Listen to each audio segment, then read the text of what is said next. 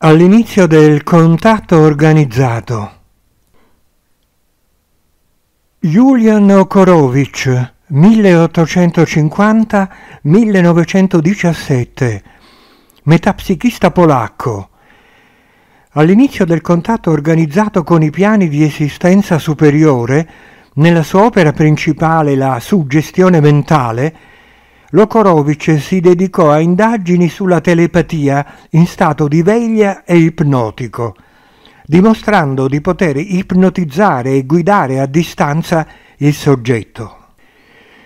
Interpretò la telepatia come un'emissione energetica da parte dell'agente tale da suscitare un pensiero corrispondente nella mente del percipiente.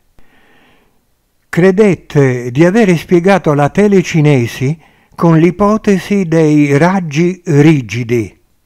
Anche per l'ectoplasma suppose che gli oggetti levitati fossero sostenuti da raggi rigidi che uscivano dalle dita dello strumento.